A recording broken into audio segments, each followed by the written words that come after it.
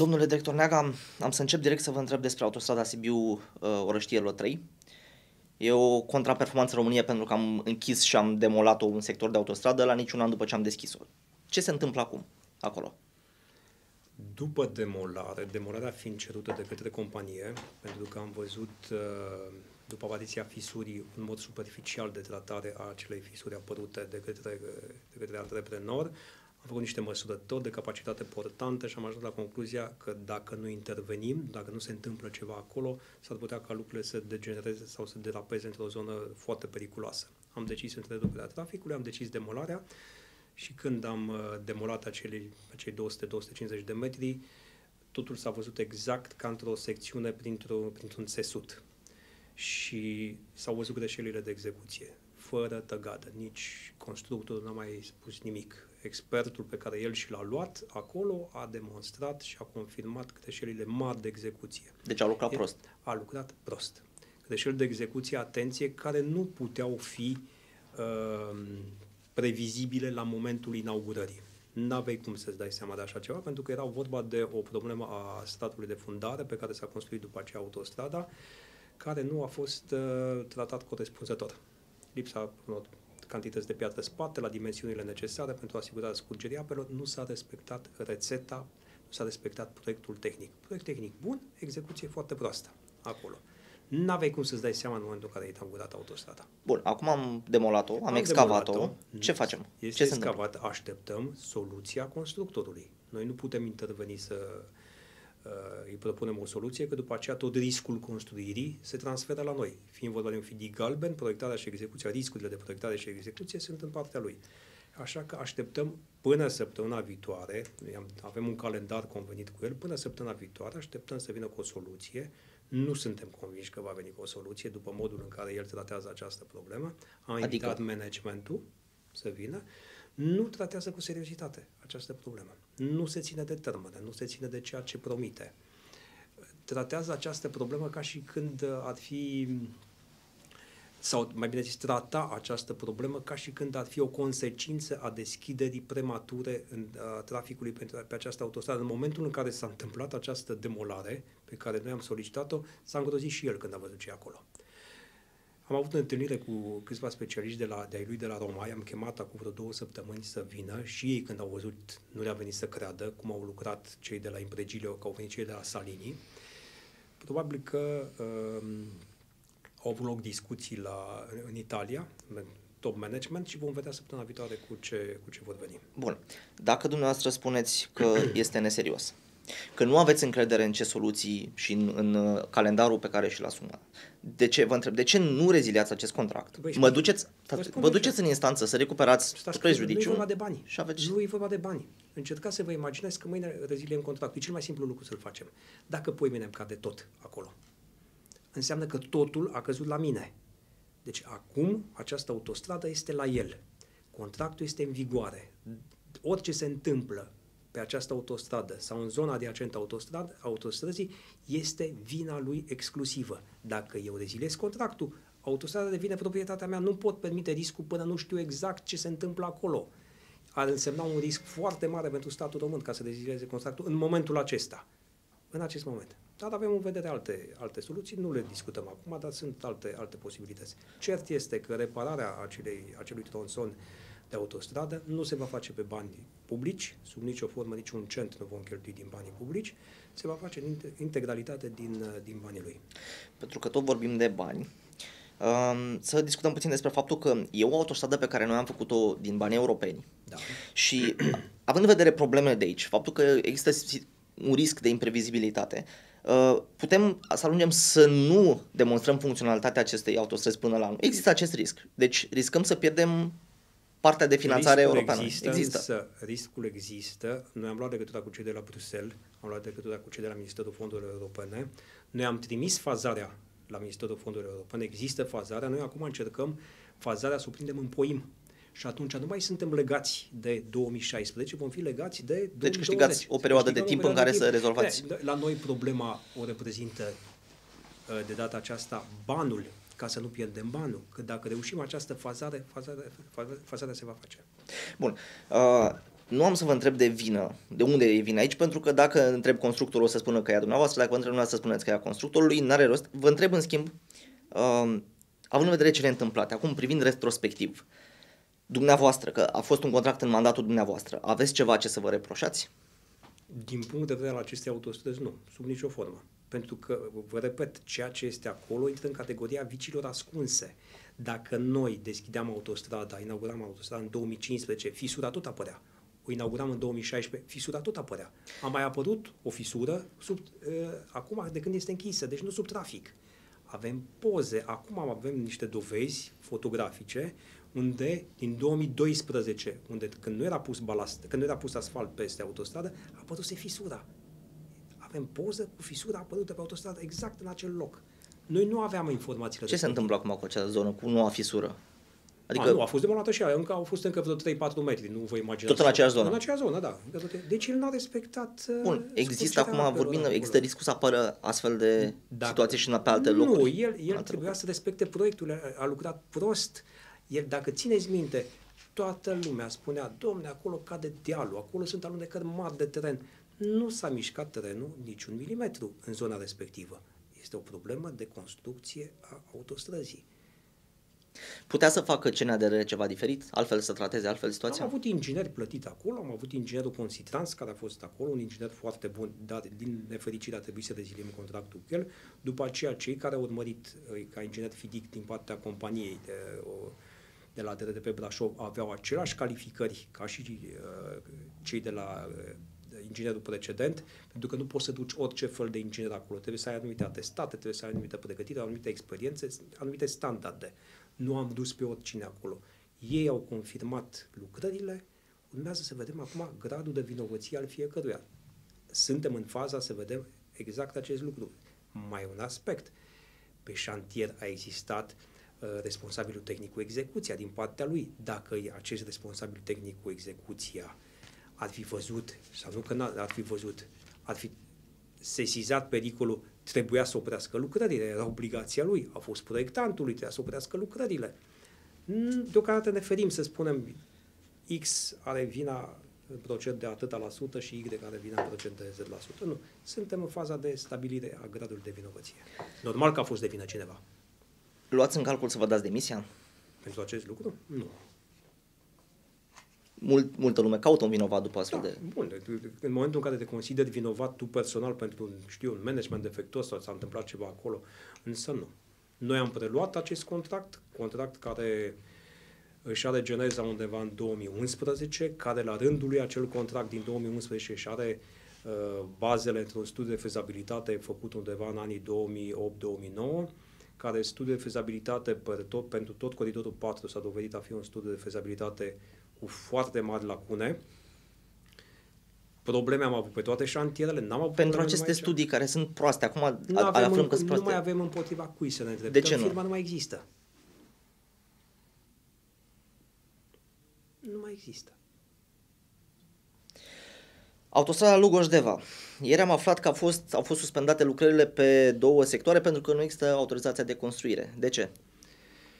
Uh, este vorba de lotul 4, tot din cauza studiului de fezabilitate, așa cum am mai spus și în alte, alte ocazii,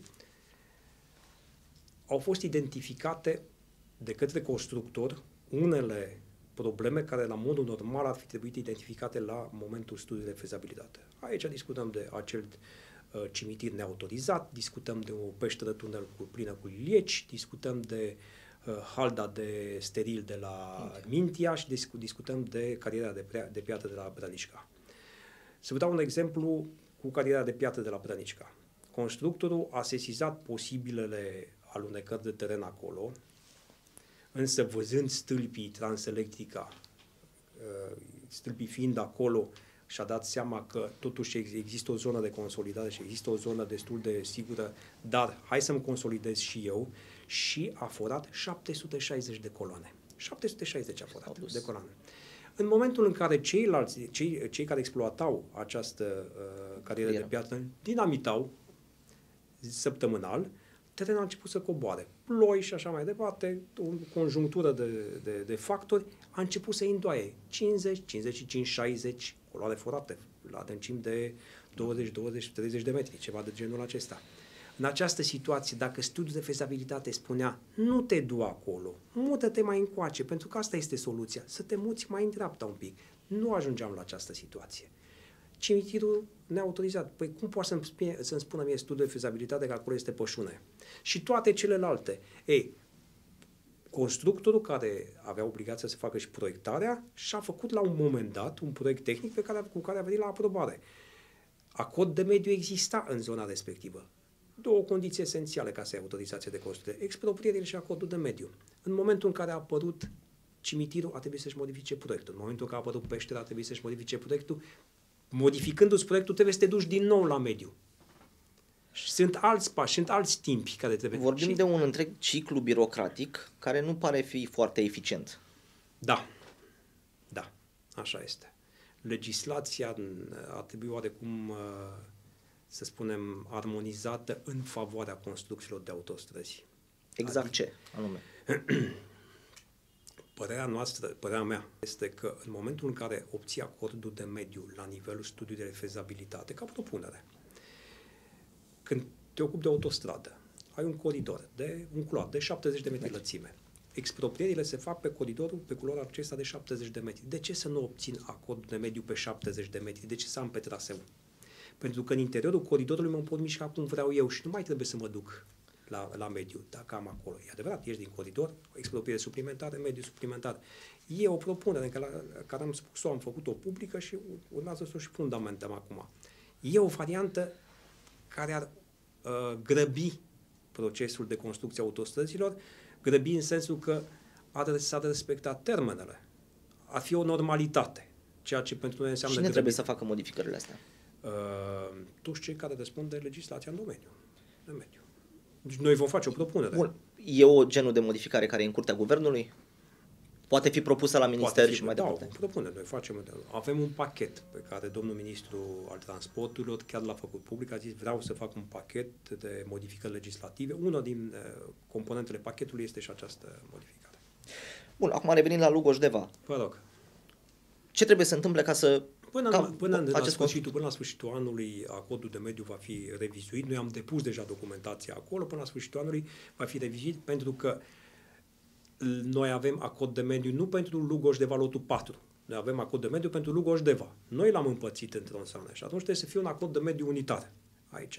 Au fost probleme cu acordul de mediu, dat, uh, cu pro- problema aceea cu pasajele pentru urși. Acolo a început prima deviere. Au venit ONG-urile da. și a zis, domnule, aici trebuie să facem ceva să protejăm. Bun, au, au ieșit tunelurile care trebuie să le facem. Automat trebuie revizuit acordul de mediu au, ieșit ace- au apărut aceste probleme. Automat trebuie revizita codul de metru și am, le-am îngrobat pe da. toate pe modelul Sebeștu, dacă la fel am făcut și acolo să avem un singur acord de mediu, după ce proiectele au fost aprobate da. și după ce am eh, rezolvat toate aceste probleme și undeva în luna decembrie să avem acordul de mediu revizuit. Tunelurile pentru urci. Știm de ele din 2013 și încă nu am lansat, păi, nu ați lansat licitația. Eh, acea uh, companie ca, cu care am avut probleme pe Orăștie Sibiu lotul 3 este câștigătoare și acolo, la, la lotul 2. Tratăm lotul în sine, nu vorbim de companie. Nu, da. e important.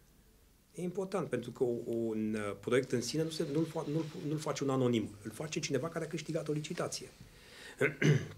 Eu mă feresc să, să fac o legătură între ce s-a întâmplat pe Orăștie Sibiu, lotul 3 și ceea ce s-a întâmplat acolo, dar legătura există. La Lugoj Deva, pe lotul 2, constructorul a lucrat foarte bine, însă a întârziat cu proiectul tehnic pentru tunel. De ce? Din diverse motive, de ale lui. Da, dumneavoastră Studiile tehnice, nu sunteți acolo să-i penalizat. Să-i... Noi, l-am, noi contractual. L-am penalizat, l-am... Dar au trecut 2 ani. Da, 2000... 2013, 2013 de atunci se știe de acele... Se știe, trebuia să vină cu el în 2014, trebuia să vină în 2015, a venit cu el, l-am respins, inginerul... Uh, întâi a venit la companie în loc să ducă la inginer, trebuia să ducă la inginer, uh, am zis hai să fim uh, cooperanți în sensul să ne întâlnim toți trei, toate trei părțile, și inginerul, și constructorul, și compania, să uh, rezolvăm toate problemele acolo. Le-am, i-am respins proiectul pentru că n-a fost un proiect bun, nu respecta în întregime cerințele de mediu Așa. impuse prin acordul de mediu și de către, de către cei de la, de la Ministerul Mediului și de la Agenția pentru Mediu. l-am dat înapoi, ni l-au trimis înapoi, i n-au ținut cont de observații, l-am dat înapoi. Nu poți accepta oricum un proiect. În final, săptămâna aceasta va fi aprobat, va fi discutat în CT, dar noi credem că CT-ul va aproba, nu mai, are, nu mai există motive fundamentale să le respingi. După aceea, cam 20-25 de zile trebuie să facă desenele de execuție și sperăm că în decembrie să lansăm licitația. Deci, într-un final, la 2 ani și în decembrie sperăm să... Bun, asta nu ne duce termenul de finalizare ca foarte... Ca să pregătești un proiect, sunt totuși trei tuneluri acolo, discutăm de 120 de milioane de euro. Ca să pregătești un proiect în vest, un proiect se pregătește în 4-5 ani de zile. Execuția durează un an de zile sau maxim 2. Dar îl pregătești 4-5 ani de zile. La noi execuția va dura mai mult. La noi e invers pentru că nu acordăm o, o importanță majoră pregătirii proiectului, în schimb punem presiune foarte mare pe, pe execuție. Și atunci iese ce, ce vedem că iese. Bun, și vom fi situația în care, să spunem, Doamne ajută, tot, tot restul autostrăzii va fi gata, doar această porțiune cu tuneluri. Ce facem? Rămânem cu gaura? Rămâne, nu, nu. Ne-am găsit la o, descă, la o variantă de descărcare a traficului pentru că așa se va întâmpla. Provizorie. Provizorie, bineînțeles. Așa se va întâmpla și acum, să spunem, dacă vor avea și puțină șansă, constructorul are toate șansele și toate uh, premisele să dea în trafic încă 17 km din, ace- din Lugoj de Valotul 2 până la localitatea Margina. Acolo faci o girație da. și atunci putem veni pe autostradă direct de la Nădlag până la localitatea Margina, ieșim prin girația respectivă în DN1 și ne conectăm mai încolo la, la, la autostradă. Asta dacă terminați Timișoara-Lugoj la 2 anul ăsta. Va fi terminat. Garantați dumneavoastră că Nu garantez, eu garantează constructorul și am văzut pe șantier treaba asta. 25 deci, de kilometri. El avea, avea nevoie, deci el a terminat cu uzura, a făcut, uh, au pus parapeții, a făcut marcajele. Mai avea nevoie de câteva, uh, vreo 20 de zile continue de soare, pentru câteva lucruri la șanțuri și în rest e gata. Deci anul acesta de 25 de kilometri, Lugoj de Timișoara Lugoj. Atenție, înainte de termenul contractual. Înainte. Termenul contractual 2016, adică se poate și așa lucra. Deci anul acesta Timișoara Lugoj Lot 2 plus cei 10 km din Lugoj de Lot 1 care sunt nefinalizați. Nădlagul, ne... Nădlagul iarăși s-a dat. Nu, nu, nu, zic ce se mai anul ăsta, ce până la final ce mai. mă feresc. Mă feresc. Nu mai vreau să dau kilometri. Pitești Sibiu. Da. Um, în noiembrie 2012, CNADNR anula o licitație, pe bună dreptate că era la recomandarea Jaspers. Noiembrie 2012. Pe 1 iunie 2014, adică un an și șapte luni mai târziu, CNADNR a relansat licitația. Un an și șapte luni mai târziu, nu știu, e un interval care bate orice logică. Mai să de mai ce? un pic. În 2010 s-a terminat studiul de fezabilitate făcut de către Iptana în 2012 s-a a fost primul termen. Doi ani de zile s-a stat, nu s-a făcut nimic. Corect. Din 2012, când s-a lansat licitația Jaspers, care este cel care avizează orice finanțare care vine în România, a zis ori faceți caietul de sarcini, cum zicem noi, ori nu vă dăm bani europeni pentru acest proiect. Corect. În consecință, s-a anulat licitația care Corect. a început atunci. Jaspers și-a luat un consultant o, o firmă, nu contează numele ei, a făcut caietul de sarcini, ni l-a dat și la interval de o lună de zile după ce ne-a dat caietul, noi am lansat licitația. Deci noi, ca și Bun. companie, o lună de zile. Deci, ca să înțeleg exact, din 2, noiembrie 2012 până în, pe 1 iunie 2014, cel mai mult timp documentația pentru SF-ul Pitești Sibiu a stat la Jasper, nu la dumneavoastră. Nu, din 2010 până în 2014, 2013 a stat pe mai multe paliere, nu doar la noi. La noi a stat o lună de zile. Bun. Bine, de la lansarea licitației, 1 iunie 2014, până la desemnarea câștigătorului au trecut 8 luni și vorbim de proiectul poate cel mai important da, din portofoliul nostru. Noi, noi n-am fi, dacă țineți minte, am lansat licitația pentru autostrada uh, Sibiu-Pitești. Da. Primul lucru. Dar pentru că aveam sursă de finanțare aprobată printr-un memorandum în guvern. Atunci am lansat foarte multe, uh, foarte multe SF-uri. Pentru că aveam o bază legală pentru lansarea licitațiilor autostrăzi. Am zis autostrăzi, dar programul de infrastructură mare. După aceea au venit, au început, au apărut discuțiile cu masterplan, au apărut masterplan, au, au apărut dezbaterile publice. Surpriza în masterplan era că această autostradă a fost în prima fază drum expres, dacă țineți minte. Noi aveam lansat o autostradă. Nu poți să mergi pe, autostradă, pe un obiectiv de investiții numit autostradă și să faci un drum expres. Deci masterplanul v-a încurcat? Nu că masterplanul ne-a încurcat, masterplanul a temporizat Bun, la un an de la lansarea licitației ați semnat contractul. Conte, după aceea a venit contestația. Da. Noi am contestat, ne-am luptat cu CNSC-ul, am, pentru prima dată când s-a întâmplat asta. Tot pe ideea aceasta, hai să contestăm noi, să ne luptăm noi cu CNSC-ul, poate greșește cu CNSC-ul. Că altfel, dacă nu, aveam, era, nu exista nicio acțiune din partea companiei, nu am fi avut, poate nici acum câștigător. Aduceți-vă aminte, Centura Bacău, 2 ani de zile în tribunale. Bun, bine. Uh, s-a vorbit mult în anii ăștia de o rivalitate așa între Sibiu, Pitești și Comanic Brașov.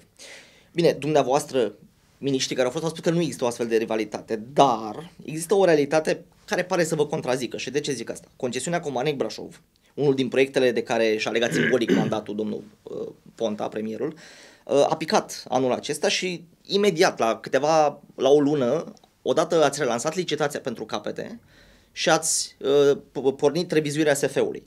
De ce la Comanic Brașov s-a întâmplat totul atât de repede, fulgerător, iar la Sibiu Pitești a durat un an și șapte luni relansarea licitației, 8 luni de zile de semnarea câștigătorului și încă un, un an de zile până la semnarea contractului. Să vă dau Diferență... Câteva să vă dau câteva argumente care despart cele două proiecte. Uh, Comanic Brașov a început în 2004, 2003-2004 când, nu, când doar se, se vorbea despre Sibiu Pitești. Deci se putea face din 2004 până în 2010 se putea face Sibiu Pitești dacă cineva dorea să-l facă. După aceea, Comadic Brașov s-a reluat în 2007. Tot așa, se putea face Sibiu Pitești fără nicio problemă. Deci ele au mers nici măcar în paralel, complet independente. După aceea discutăm de sursele de finanțare. Sursele de finanțare, dacă vă uitați cu atenție în master plan la uh, uh, Sibiu Pitești, discutăm de FECE, de Fondul de Coeziune, discutăm acolo, dacă ne uităm la Comandnic Brașov, este vorba de parteneriat public slash concesiune. Deci nu au legătură este o, este o comparație forțată, că ele se canibalizează. Nu mai, ele discutăm, nu, se canibalizează. nu mai discutăm de concesiune sau parteneriat public-privat pentru că a picat. În master plan, legea. în master plan ambele autostrăzi sunt prevăzute prin mixuri de fonduri. Între... Europene, împrumuturi și bugetare ca finanțare la Sibiu Pitești, iar și la, dincolo. Nu, dincolo apare pe, pe, pe concesiune. Și am să vă explic uh, de ce am pornit mai repede această autostradă, mai repede? De ce am dat drumul la capetele Comandnic Brașov? Pentru că e interesant aici ca, ca, explic, ca explic, o cunoaștere a realității. Am plecat pe finanțarea de la buget, în prima fază, capetele de la uh, Comandii Brașov, pentru că sunt cel mai ușor de făcut. În același timp, am reactualizat studiul de fezabilitate pentru partea de mijloc, pentru că acolo este cheia. În discuțiile pe care le-am avut cu Beiu și cu Bărdu, au zis, dacă începeți capetele, dacă faceți un SF bun pe mijloc, putem discuta de o concesiune pentru întreaga autostradă, deci construcția mijlocului plus operarea și întreținerea întregii autostrăzi Comandii Brașov. Deci revine în discuție o nouă concesiune? Cu amendamentul dacă lucrurile se vor desfășura conform uh, normelor și cerințelor BERT Bay. De asta a picat concesiunea, pentru că BEI nu a intrat în finanțare. Dacă BEI intră într-o finanțare, cu siguranță că va ieși concesiunea. Aici e cheia. Deci autostrada Comanding Brașov va Ex- fi are posi- o nouă are, concesiune. Există posibilitatea să fie o nouă concesiune. Dar, Dar dumneavoastră ce vreți? CNADNR-ul ce vrea? Concesiune Deocam, sau? Deocamdată CNADNR-ul vrea să înceapă capătele și vrea să aibă un studiu de fezabilitate bine făcut pentru partea de mijloc, să vedem cât costă în realitate această autostradă. După aceea decidem, împreună cu finanțatorii. Pentru că e o problemă de finanțare aici. N-au loc amândouă în master plan, după cum ați văzut. În scenariu pesimist. În scenariu pesimist. Bun, dar în scenariu optimist vă spun că și Comanic Brașov apare cam cu mix de fonduri. Tot mixt este. Bun, bun, bun. Pentru că vii la început cu banii tăi ca privat și după aceea îți dau bani de la stat. Și se, se ia în considerare și finanțarea prin fonduri europene, pentru că poți finanța prin fonduri europene diverse părți. Vorbim, practic, deci, de o nouă concesiune pe Comanding Brașov. Nu, am zis, o ipotetică. O ipotetică. Când veți face pași pentru că am văzut după că durează ce, ceva.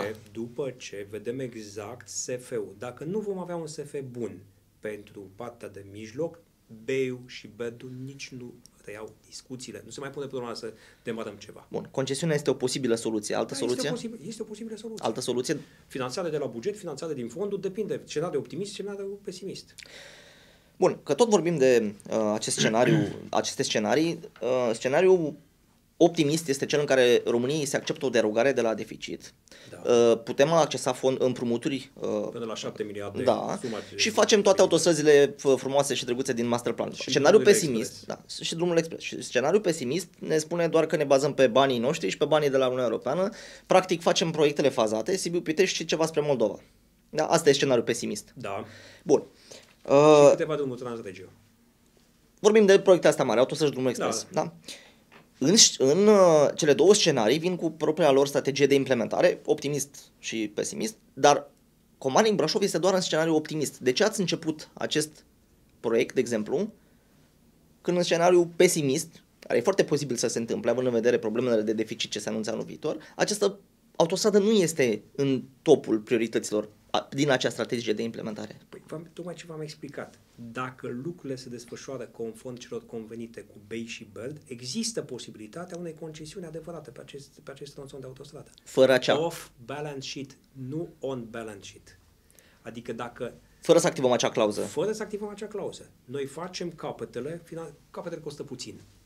Găsești finanțare, că e de la buget, că e de, de din fonduri, e, nici nu se compară cu Sibiu Pite sau cu suma celorlalte proiecte. E vorba de ordinul sute, nu discutăm de, de, de, de miliarde de, de euro aici. Deci că 100, 100 și un pic de, de milioane de euro, sub 100 de milioane de euro toate. Dacă vom face studiul de fezabilitate așa cum trebuie pe partea de mijloc, iar Beu și Berdu consideră că acest proiect are șansă să fie off balance sheet, vom intra cu siguranță într-o concesiune. Trebuie să încerci. Bun, da, să nu, încerci? această Ce să- autostradă ce să apare faci? într-un Ce- scenariu ce- și în altul nu. Păi, O alt, apar, un da. alt proiect, Drumul Expres despre Moldova, apare în ambele scenarii și cu toate acestea, nici până azi nu avem relansată licitația pentru studiu de fezabilitate. Nu avem relansată, nu avem la, relansată, că ea a fost lansată la nivel de proiecte de autostrăzi. A fost anulat? A fost anulat. Însă, în momentul în care au apărut cele două scenarii, scenariul pesimist și scenariul optimist, când am avut certitudinea că acestea, a- această autostradă spre Moldova va fi practic un drum expres de la Ploiești, Buzău, Foc, practic coridorul nou pe care îl știți și dumneavoastră, suntem în pregătire, în luna aceasta, luna octombrie, vor fi pe seapă. În, Implementarea înseamnă 2015-2016. da, 2005 da, în scenariu, în cel mai bun, e, teoretic, credeți dumneavoastră că putem să lansăm licitația, să semnăm contractul și să facem studiu de fezabilitate până la final de 2016, când este programat în masterplan? E posibil. E posibil. Da, Dacă dăm puțin drumul probabil. Acum, având în vedere uh, condițiile uh, geografice care există, nu, s- nu, nu, nu ar fi un traseu greu de, de, de, de identificat acolo. Asta e un aspect. Al doilea, există câteva studii de fezabilitate mai vechi în ceea ce privește Ploiești, Buzău, Focșani, care pot fi reactualizate și aici vreau să fac o paranteză pentru că mereu se induce în spațiu public ideea că un studiu de fezabilitate expiră. Un studiu de fezabilitate nu expiră. Expiră acordurile, expiră avizele și așa mai departe. Se actualizează Se datele, actualizează datele trafic. și așa mai departe. Dar dacă eu am un studiu de fezabilitate mai vechi, îl reactualizez și știu sigur că există de la Ploiești, Buzău, Focșani, deci practic trei sferturi din acest traseu, pot să-mi permit să fac niște studii geo foarte bine, că de fapt aici e cheia unui studiu de fezabilitate, studiile geo, aici este marea noastră nenorocire, pentru că nu s-a acordat importanță studiilor geo. Ori noi nu mai acceptăm un studiu de fezabilitate fără studii geo bine făcute și urmărite de companie. Pentru că am înființat unități de urmărire a proiectelor, de implementare a proiectelor, care urmăresc realizarea acestui studiu de fezabilitate, unui studiu de fezabilitate. Așa este la Sibiu Pitești, așa în toate studiile de fezabilitate. Nu îi se confirmă nicio plată până când cineva din companie nu este prezent la studiu geo, la foraje și Apropo la de astea. companie, Da. în masterplan există o propunere de reformare a CNDR-ului, mai exact de împărțirea CNDR-ului în două companii, una care se ocupă de întreținerea rețelei rutiere și una care se ocupă strict de implementarea proiectelor. Ce părere aveți dumneavoastră despre? E o, e, o părere mai, e o propunere mai veche, nu este nu doar în master plan, că a fost discutată cu noi și de AECOM și e o problemă, problemă mai veche a companiei, uh, care probabil va fi rezolvată în, moment, în momentul în care se discută și proiectul de, pro, proiectul de regionalizare a țării, pentru că subiectul este un pic mai amplu, nu poate fi tratat doar unilateral. Și atunci o, re- proiectul acesta de regionalizare ar ușura oarecum și Dumneavoastră această- susțineți această, această scindare a companiei în două? Da, Specializare, practic. Da, specializare. Da. Cu o companie exclusiv pe investiții, deci se fac proiectarea, execuția mă, și licita, proiectarea și licitația Da. și implicit, implicit, inclusiv implementarea și o companie care se ocupă de strict de, de întreținere. Da, deci structura, organigrama actuală a companiei, să știți că așa este lucrată. Este ca un proces tehnologic. Pregătești, implementezi, predai la întreținere. Așa este. E foarte simplu. Dacă mâine ar fi o de, de guvern, în secunda 2 se poate face treaba asta. Și de ce nu se face? Dacă nu ați sunteți pentru, dacă poate ministrul este pentru, de ce nu se deci, face? în momentul trebuie să facă și niște analize ce faci cu oameni, ce faci cu utilaje, cu patrimoniu, sunt mai multe. Trebuie- se vor face, trebuie. bă, Când? Cu siguranță, păi dacă este se, se, se va face. Bun. 8,7 km de autostradă lângă Cluj-Napoca, aflate în lucru, vorbim de Gileună de Șelu. Da. E un, se află într-un stadiu avansat de lucru. În afară de acea zonă cu pădurea, unde sunt probleme, tronsonul Acordul este... de În... mediu este revizuirea de la Ogra până la Borș. Eu vă întreb următorul lucru. Există un pod la capătul acelui... Podul a fost licitat, podul a, n-a fost nicio ofertă conformă. S-a con- noi am vrut să anulăm procedura, s-a contestat la CNSC, așteptăm decizia S-a contestat CNSC. anularea procedurii. S-a contestat anularea Bun, dar procedurii. vom, vom fi în situația în Asta care să este avem problema- acel lot gata și podul între cele două, între autostrada existentă și Mai lotul nou. exista un construit. de, dacă nu uh, dacă decizia CNSC-ului se va întârzia, există proce- uh, probabilitatea ca să existe un decalaj. Dacă nu se uh, accentuează foarte mult, decalajul va fi minim. Dar asta este o problemă care a pornit din Bechtel, n-a pornit de la noi. Noi am observat-o și am încercat să o rezolvăm. Da, e o problemă care ne Este o presează problemă, acum. am adică văzut-o și vă e în dați curtea seama- dumneavoastră da, să o vă dați rezolvați. seama dacă nu, nu, nu se rezilea contractul cu Bechtel, a, așa se, se trata problema. Bun. Uh, autostrada Câmpia Turzii Târgu Mureș a fost lansată în 2014 în mare grabă pentru a mai salva din fondurile europene pe care noi le pierdem pentru că n-am apucat să le cheltuim pe toate. Cu toate acestea, dintr-un proiect salvator care s-a derulat foarte repede, am ajuns acum să, să fie blocat. Sunt contracte semnate, dar nu se lucrează. De ce? Uh, din cele cinci loturi care sunt de la Câmpia Turzii până la Târgu Mureș, știți că e împărțit în două, Câmp- Câmpia Turzii, Ogra, Ogra, Târgu Mureș, patru contracte au fost semnate, unul a fost contestat, de-abia în această săptămână am avut câștigătorul, deocamdată nu pot să-l fac public, Uh, dar e rezolvată și problema pentru că a fost contestată, contestată, contestată și în această săptămână s-a, s-a rezolvat uh, prin reevaluare, s-a terminat reevaluarea. Problema uh, care s-a evit pe acest sector a fost problema avansului. Uh, Știți că suntem în uh, transferul între două exerciții financiare, 2007-2013, Posteu 2014, posteu cu și poimul. poimul. Ei, a venit o instrucțiune de la Bruxelles când ni s-a spus că avansul trebuie să fie uh, recuperat în întregime de la constructori, în, dacă proiectul este fazat, doar din faza 1. Adică În acei momentul- 15% din poste. Avansul. Cât trebuie să dat. În momentul în care noi am aflat această veste, ne eram pregătiți să dăm, chemăm constructor, noi am semnat contractele, chemam constructorul, vă dăm avans, ei cu garanția de avans, vă vă apucați de treabă. Ei, având niște dealuri cu băncile pe baza unui cash flow, când au auzit așa ceva, nu s-a mai acceptat această propunere a noastră. Practic era o modificare a contractului. Noi nu, put, noi nu am introdus această modificare de la început. Adică ei trebuiau să justifice acel avans până la finalul Nu, acestui Ei an? trebuia să accepte această modificare a contractului și nu au acceptat-o. Bun, modificare care presupune asta, nu? Să Da. lucreze Să-și acești recupereze, toți. să-și recupereze avansul. Deci cum se, cum se face? Un certificat de plată în 2015 are două componente. X% avans, Y% lucrări. Da. În 2016 lucrul ar fi stat așa, un certificat de plată egal avans. Deci lor nu se mai plăteau lucrările. Deci, în ghilimele, lucrau gratis, cum se spune. Nu le-a convenit, pentru că asta le modificau un cash flow. Au discutat cu băncile, modificarea de cash flow înseamnă costuri suplimentare și au venit la negocieri. Dacă noi acceptam cerințele lor la negocieri, se modifica documentația de licitație.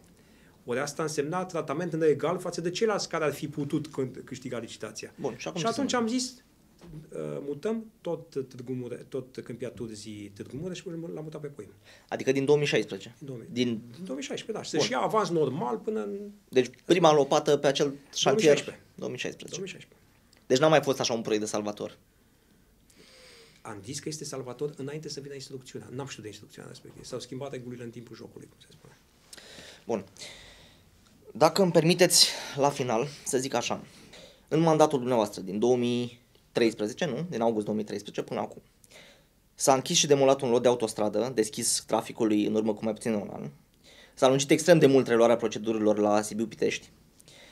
A Nu căzut mandat- o, a nu căzut, Mandatul meu s-a lungit. a trecut și pe mandatul noastră. Dar nu în O a mandatul treia meu. tentativă de concesionare a Comanic Brașov a picat. 10 km de autostradă lângă Lugoj-Zac, nedeschiși circulație de 2 ani, deși ei sunt gata, dar nu se opreau în câmp, nu exista o descărcare a traficului.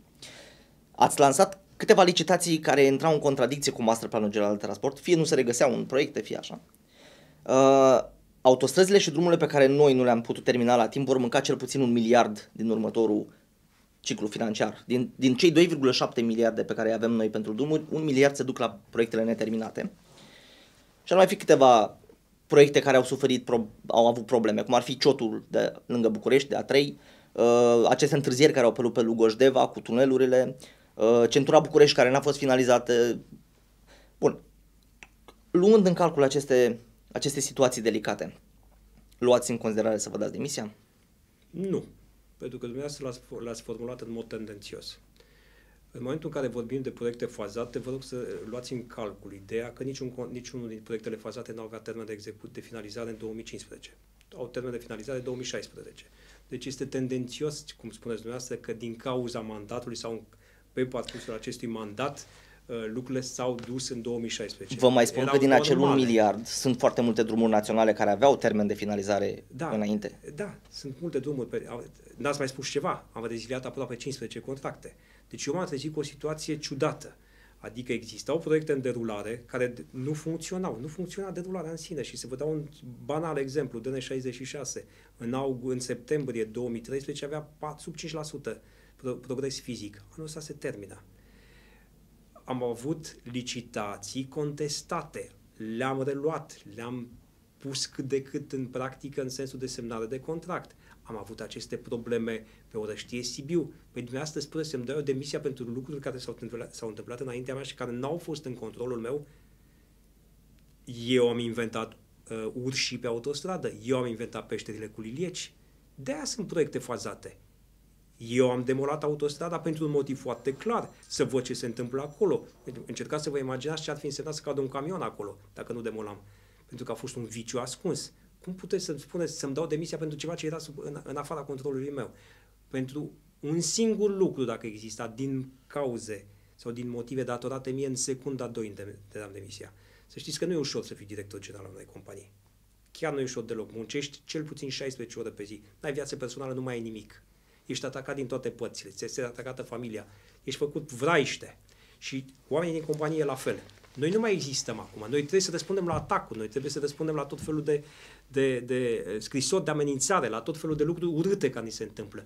Cât crezi că poți să reziști ca om? Și să știți că în compania asta sunt oameni care lucrează cu adevărat. Nu toți, că știți, cam în orice organizație lucrurile stau destul de, de complicat și la noi. Însă sunt foarte mulți oameni care lucrează cu adevărat și pentru ei nu merită să-mi dau demisia. Se face schimbul de generații, s-a schimbat o abordare a studiilor de fezabilitate, s-a schimbat complet viziunea asupra proiectelor. De ce să-mi dau demisia? Care sunt eșecurile mele personale? Că nu și-a găsit finanțare Vansiu? Trebuie să-mi dau eu demisia? Că impregiul a lucrat prost? Trebuie să-mi dau eu demisia?